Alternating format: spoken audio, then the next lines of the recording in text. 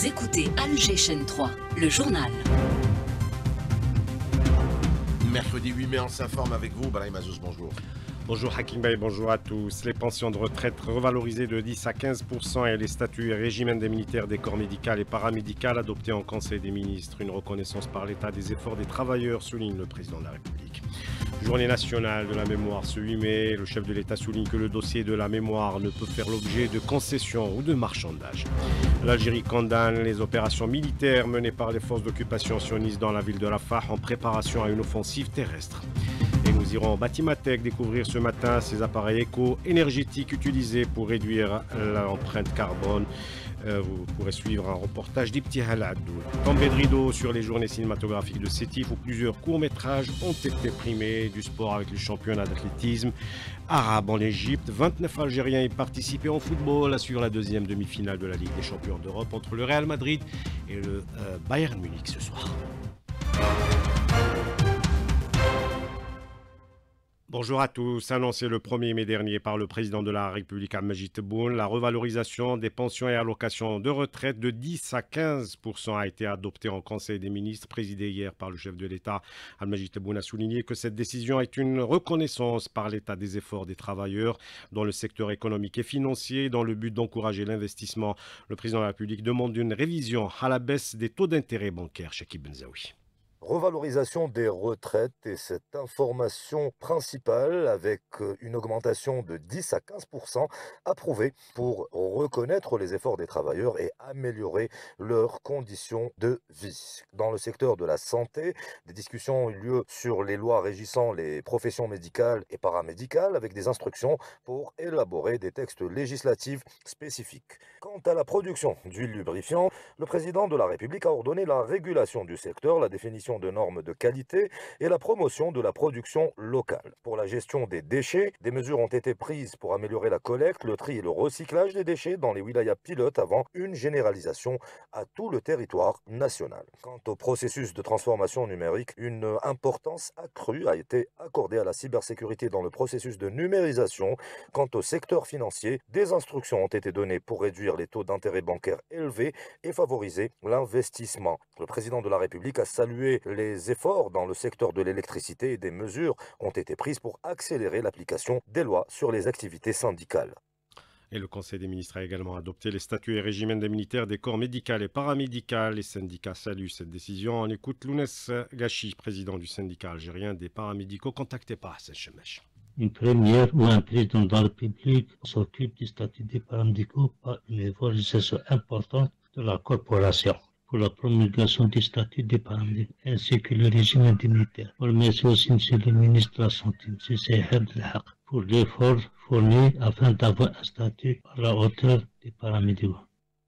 Journée nationale de la mémoire ce 8 mai, il y a 79 ans, le 8 mai 1945, l'armée coloniale française avait commis des massacres à Sétif, Harata et également 45 000 Algériens assassinés sortis manifester pour l'indépendance de l'Algérie. Et dans son message, le chef de l'État a souligné que le dossier de la mémoire ne peut faire l'objet de concessions ou de marchandages et restera au centre de nos préoccupations. Hakim Kamel.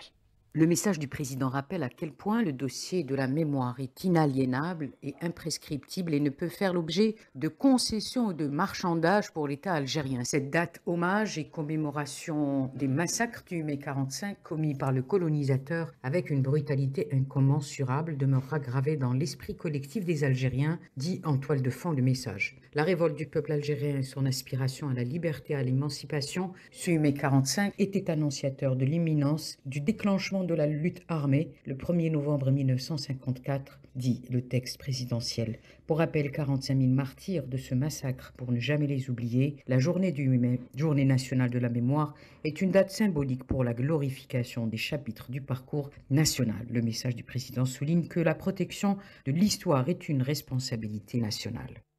Et plusieurs activités sont organisées à l'occasion de la journée de la mémoire. Lors d'une conférence, Jamal Jazel, le président du Conseil de la Nation, a affirmé que tout au long de l'ère coloniale, le peuple algérien a été victime d'un génocide et de tentatives d'effacement de son identité et de sa référence religieuse. Le colonialisme en Algérie ne ressemble à aucune autre forme de colonialisme dans le monde. Parce que le colonialisme en Algérie avait pour objectif l'extermination du peuple algérien. Même notre identité religieuse était attaquée. Et en novembre, en libérant le pays, nous avons recouvré notre identité religieuse, qui est l'islam. Le 8 mai 1945, l'armée coloniale a commis un crime abject d'une sauvagerie inouïe que le peuple algérien n'est pas prêt d'oublier.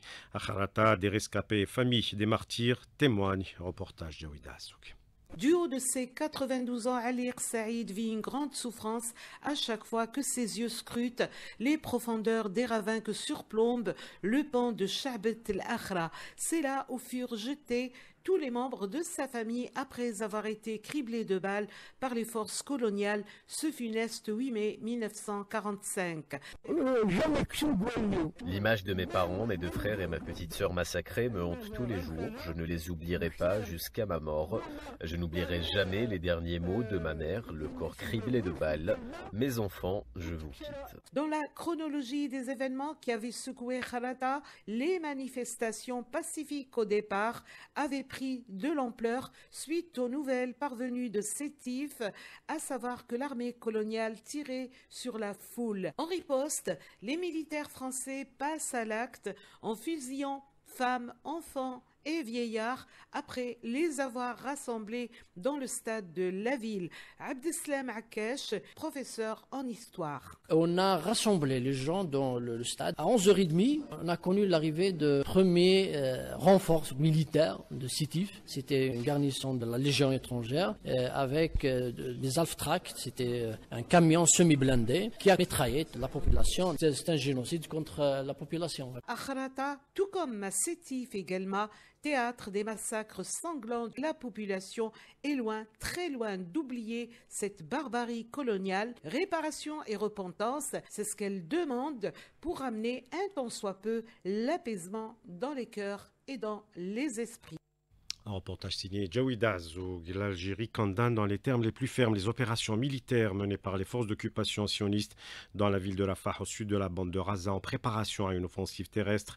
Cette escalade extrêmement dangereuse confirme que l'occupation coloniale israélienne compte poursuivre l'exécution de ses plans visant à l'extermination du peuple palestinien et au déplacement forcé de ceux qui restent, souligné un communiqué du ministère des Affaires étrangères. L'Afrique du Sud a de son côté condamné l'évacuation forcée de la de Palestine palestiniens à Rafah et Qatar appelle la communauté internationale à empêcher un génocide à Rafah, une évacuation inhumaine et inconcevable, estime pour sa part le haut commissaire de l'ONU aux droits de l'homme, Volker Turk tous nos camions avec de l'aide, avec de la nourriture, euh, de médecine, de l'eau, etc., ne peuvent pas passer actuellement. Et ça, c'est vraiment catastrophique parce que le besoin humanitaire de l'autre côté de la frontière, à l'intérieur du Gaza, est catastrophique. Et ça, c'est vrai pour le passage de Rafah, mais aussi le passage de Kerem qui est à côté, mais qui est actuellement aussi fermé. Aucune personne qui peut passer, y compris les patients qui ont été blessés, des patients avec des, des maladies chroniques, etc.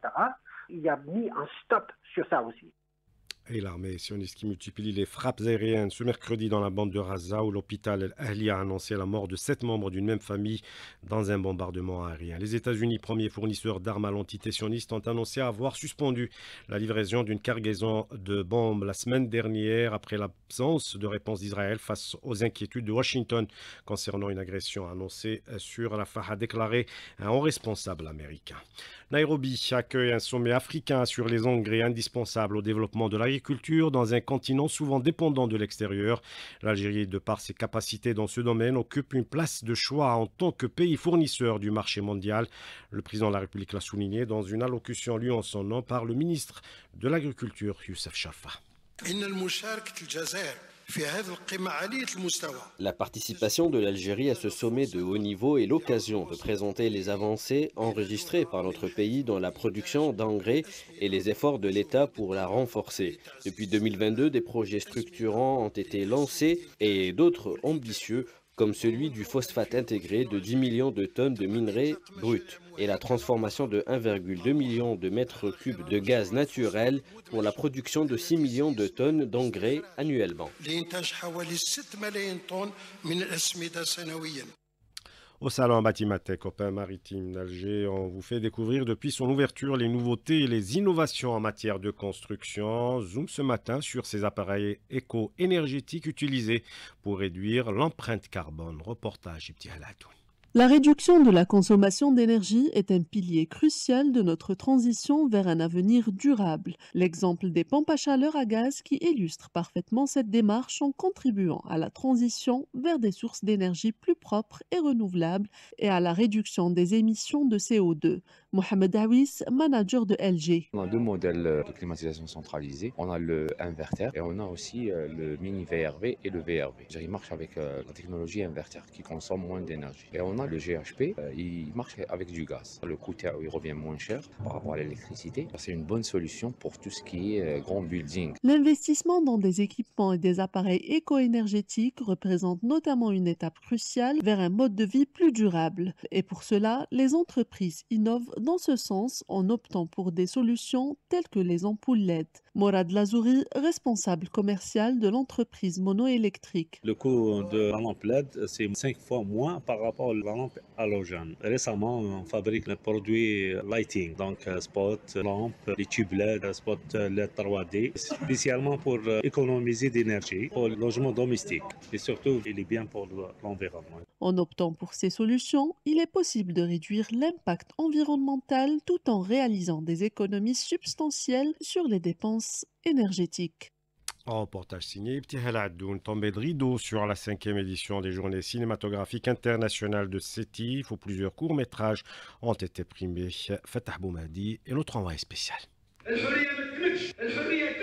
Le premier prix a été attribué à Abdelkader Guidoum pour son court-métrage Coup de pouce. Le deuxième prix a été attribué au réalisateur palestinien Bilal Khatib pour son court-métrage Palestine 87. Le troisième prix a été attribué à la réalisatrice tunisienne Aya El Houni pour son court-métrage 32. Et le quatrième prix a été attribué à Ahmed Agoun pour son court-métrage Le Drapeau. Il y avait du niveau et de l'originalité, nous dit le réalisateur et président du jury Jaffa. Pour les critères sélection pour euh, ce festival de court-métrage, le scénario, le jeu d'acteurs, images et son, décor.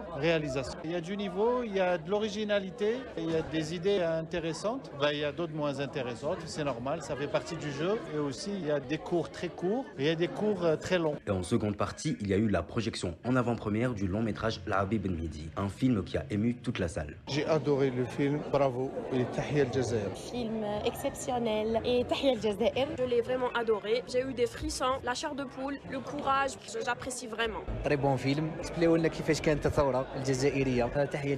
Rappelons que durant ces 4 jours de festival, 21 courts-métrages ont été projetés et à chaque projection, la salle était comble. De Sétif, Fatah Boumadi, Alger 3.